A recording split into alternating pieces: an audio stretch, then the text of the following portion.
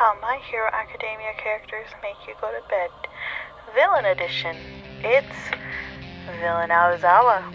Truthfully, I think you two have gotten a mutual respect for each other, but when it comes to bedtime, it's a different story. Her strategy is usually to sweet talk you into going to bed, but like the usual, you try to avoid going to bed for whatever reason. And this doesn't go over well with this man. Not at all. That's when, surprise attack, you're tied up.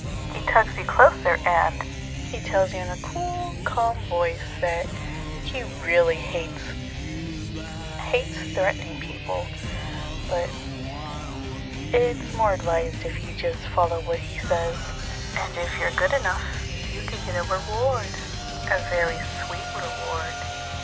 And with that, let's just say you do fall asleep